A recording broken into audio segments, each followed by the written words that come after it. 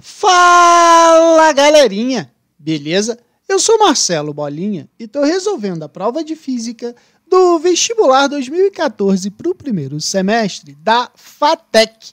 Eu vou fazer agora a questão número 3 da prova multidisciplinar.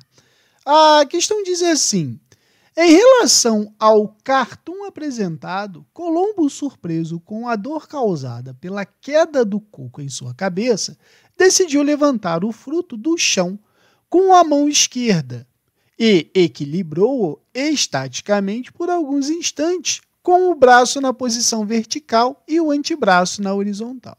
Desse modo, estimou a massa do coco em 1 kg.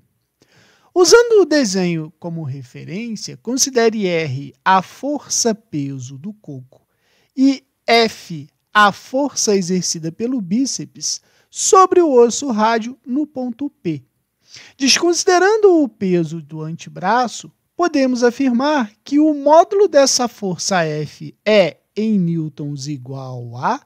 E aí o problema mandou a gente lembrar aqui que o somatório das forças que atuam no sistema é igual a zero. Né? Então, a gente sabe que o somatório das forças tem que ser igual a zero para que eu tenha o equilíbrio.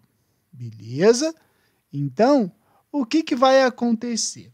Eu posso dizer que o momento das forças que atua no coco tem que ser igual ao momento das, da, da, da força do bíceps, certo?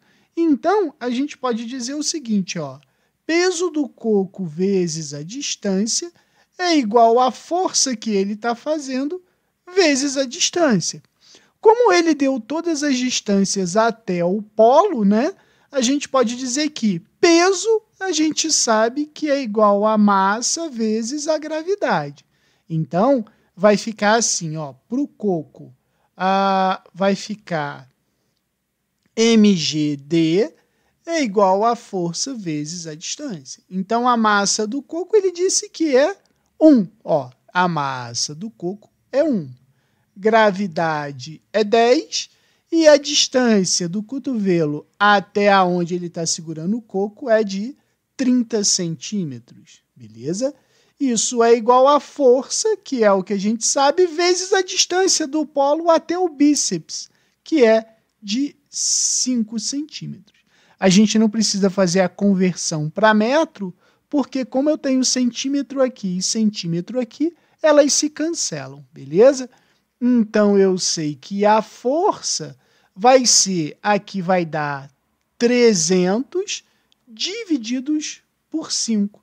300 divididos por 5 vai me dar 60 newtons. 60 newtons é a letra E, beleza? Qualquer dúvida, deixe nos comentários que eu te respondo.